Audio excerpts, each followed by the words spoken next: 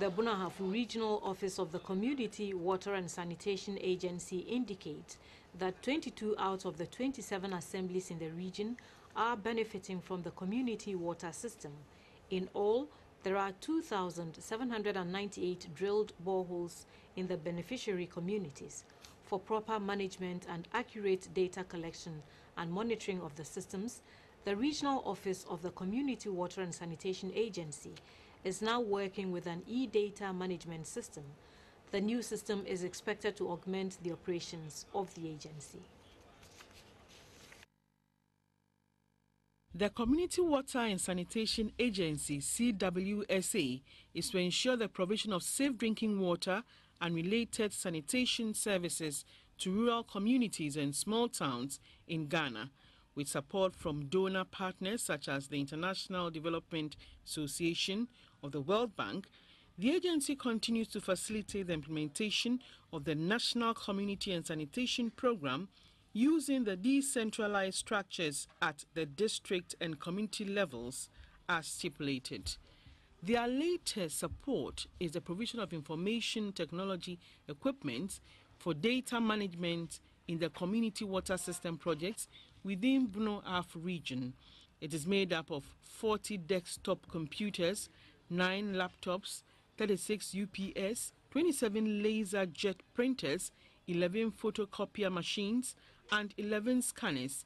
They were distributed to the 27 assemblies of 8 municipalities and 19 districts for proper monitoring in the region.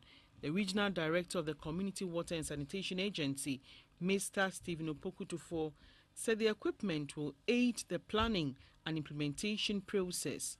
The Regional Coordinating Council also benefited from the package to aggregate all the information from the assemblies the regional minister, Mr. Eric Opoku, charged all officials to use the equipment for their intended purposes.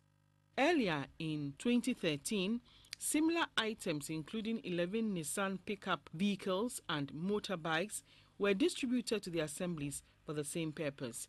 The leader of the piloting team for the e-data management system, Dr. Tyra Kumasi, told GBC 24 that the project, if effectively implemented, will ensure accurate and reliable data. The University of Ghana on Friday awarded various degrees to about 1,468 students who completed the 2013-2014 academic year. In a report, the Vice-Chancellor, Professor Ernest Aryeetey, said the university intends to launch its strategic plan for the period 2014 to 2024 before the end of this academic year. This graduating class is made up of nationals from 35 countries across the globe, including Ghana.